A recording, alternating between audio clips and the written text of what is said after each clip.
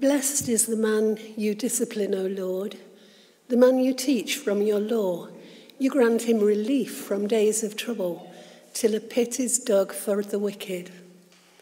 For the Lord will not reject his people, he will never forsake his inheritance. Judgment will be again be founded on righteousness, and all the upright in heart will follow it. Who will rise up for me against the wicked?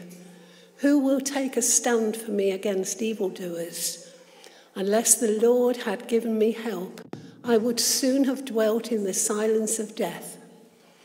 When I said, My foot is slipping, your love, O Lord, supported me. When anxiety was great within me, your consolation was brought has, your consolation brought joy to my soul. This is the word of the Lord. Thanks be to God.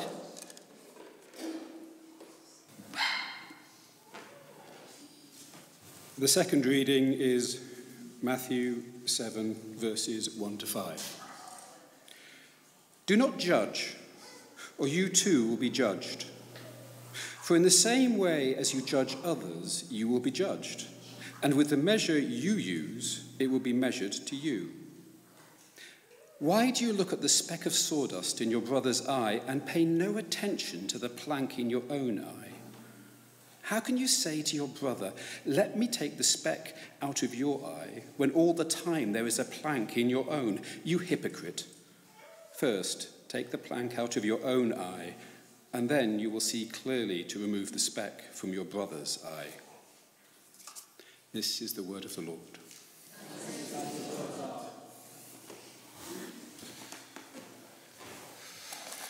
Well, good morning.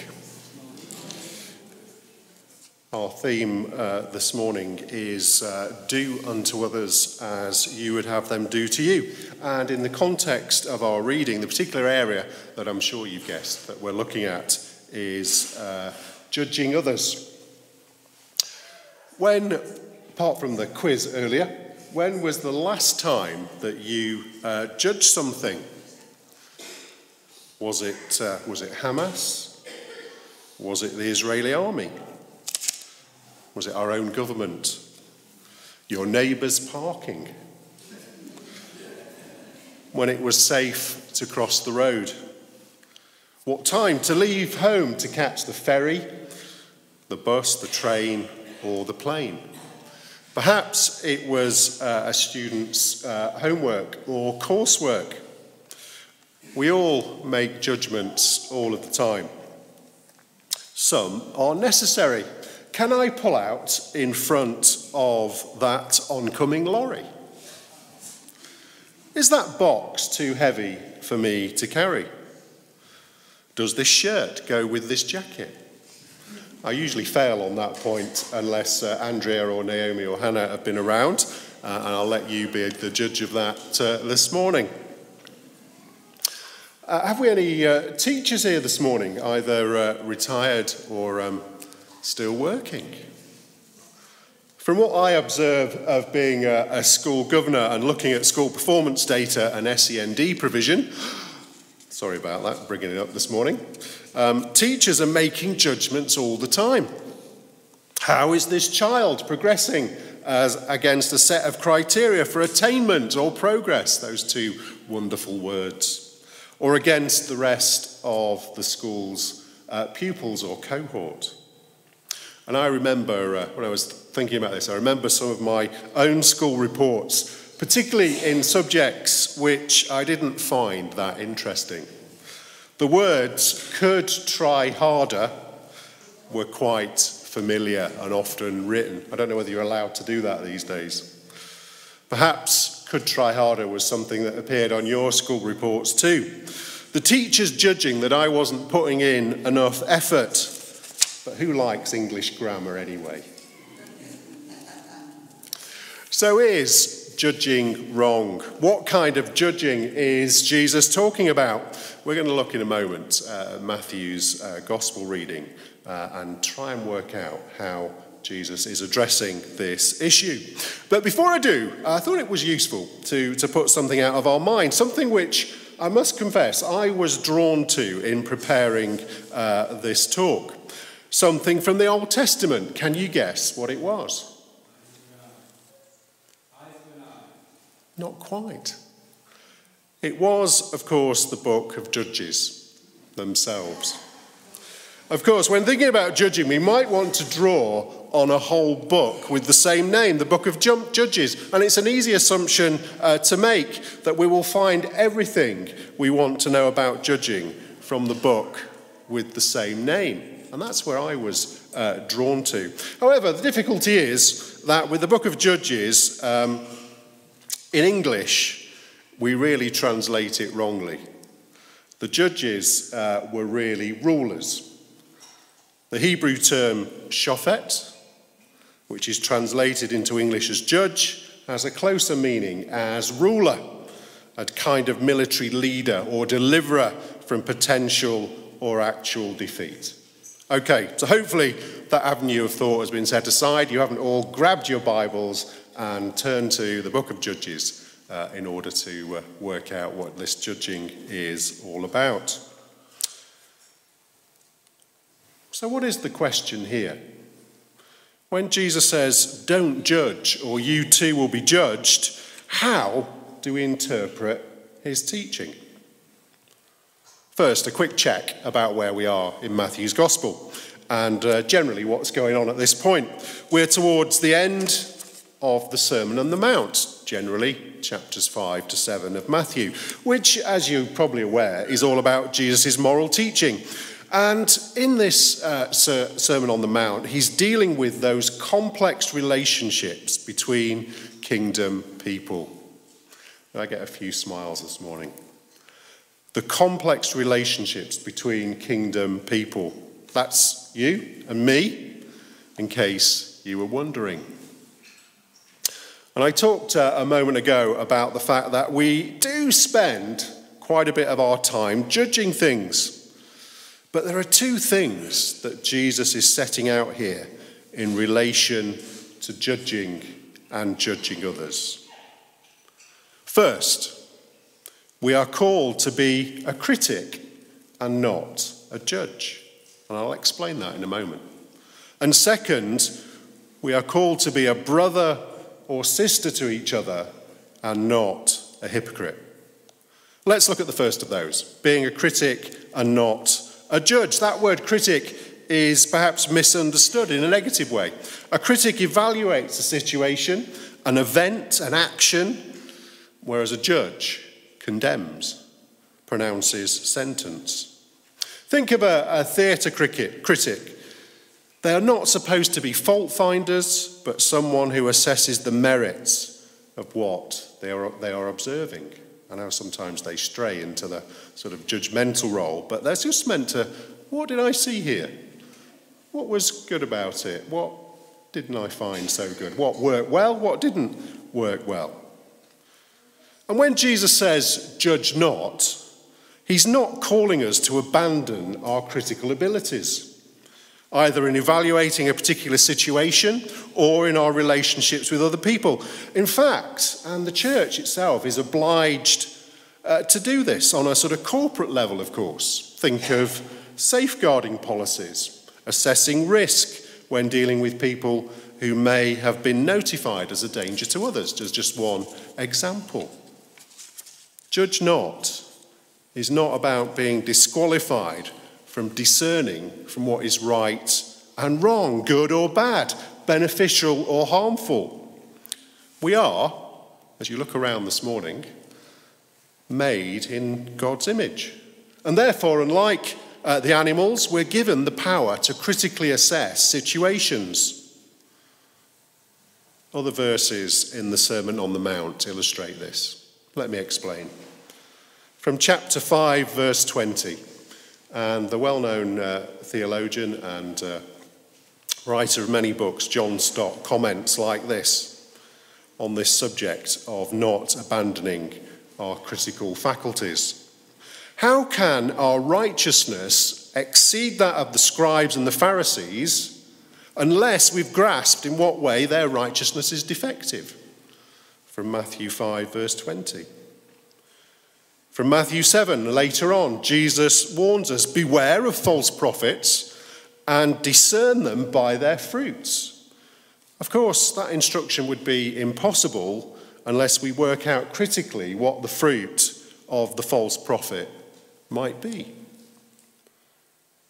So we're not called to abandon our critical faculties.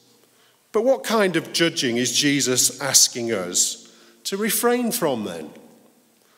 It's the kind of judging which is harsh, which enjoys fault finding in others and uncovering their sins.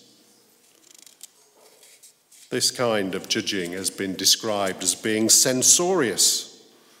I don't think I'd ever heard that word before. Censorious means to be severely critical of others. And why would we do that?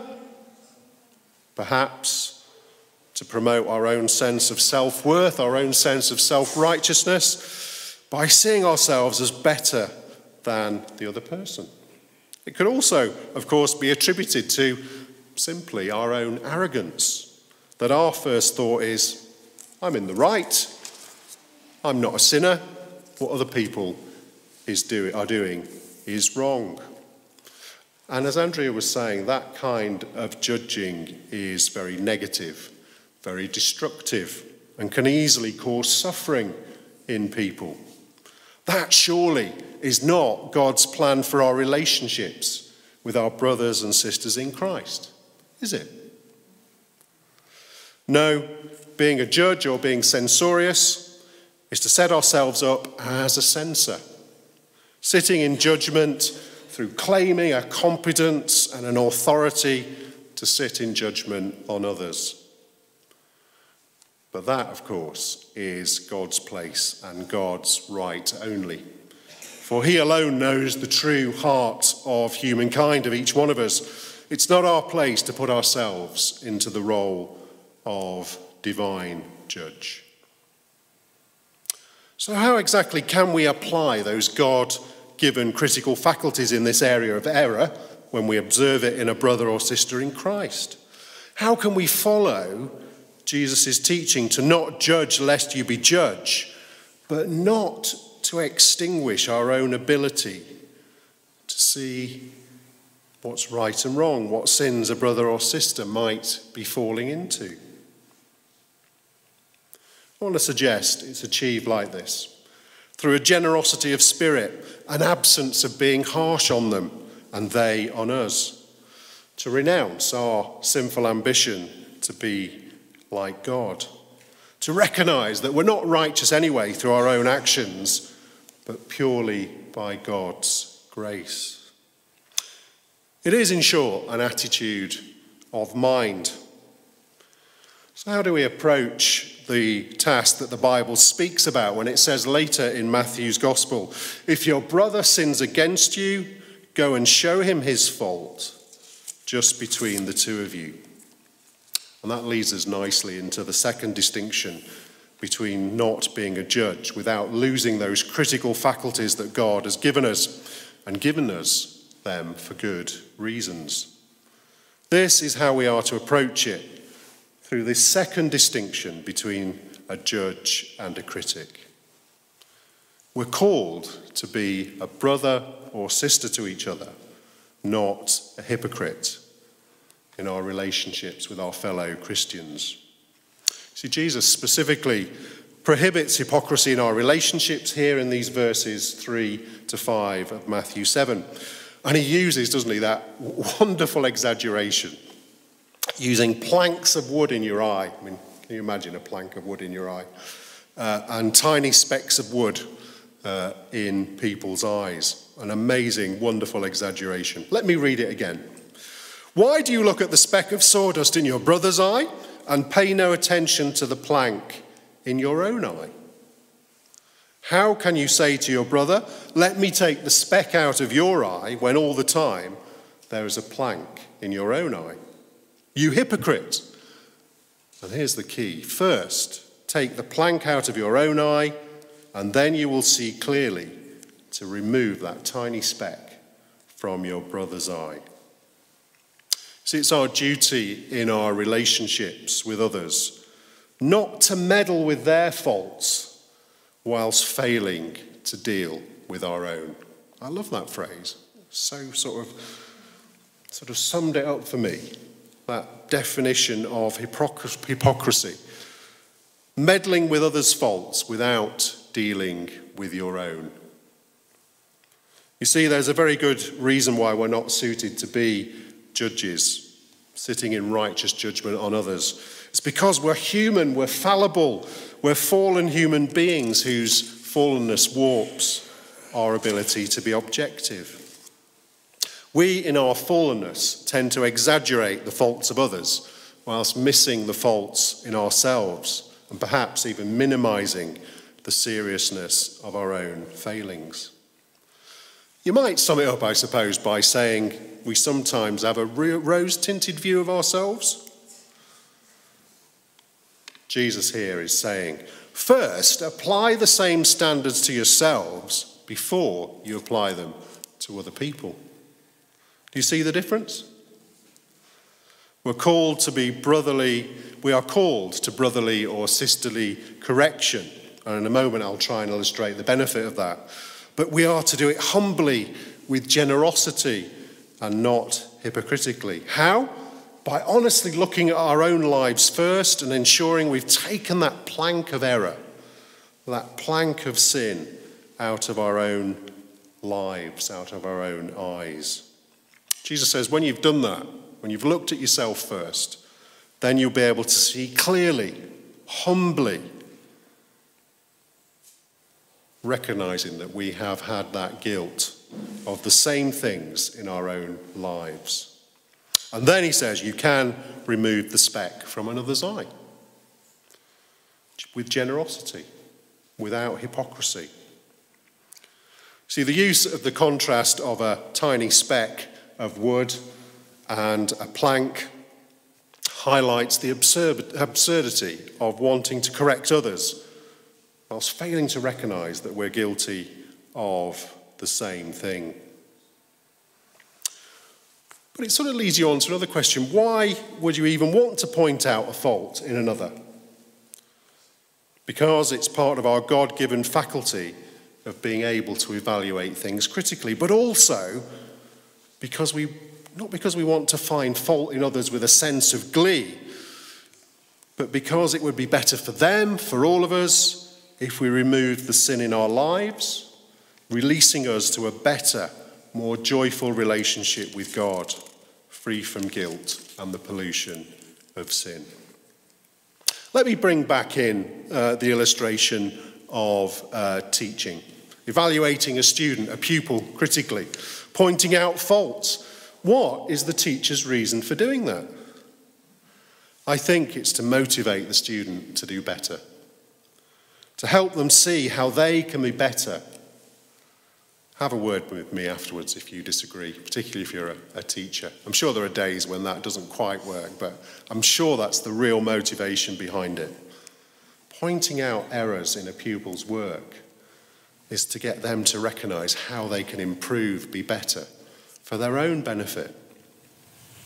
So, too, with wanting to remove the speck from a brother or sister's eye, surely it should be out of a desire for them to do better, be better in the kingdom, not to allow sin to trip them up, which in some cases leads to them leaving the church. We've all known people who've tripped up through sin.